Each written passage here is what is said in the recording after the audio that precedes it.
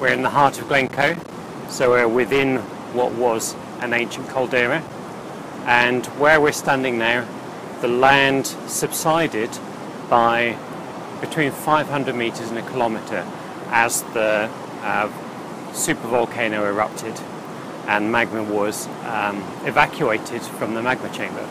And we know that there's that much displacement because I'm standing on rhyolite and in the um, riverbed here you can see a contact between the rhyolite on the top, the pink, and the grey andesite underneath.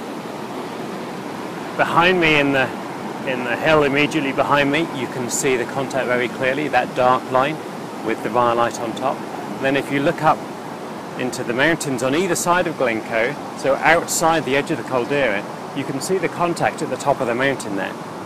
So there's the displacement, vertical displacement on the faults was from up there to down here. All of that was uh, erupted in probably a single eruption of the supervolcano.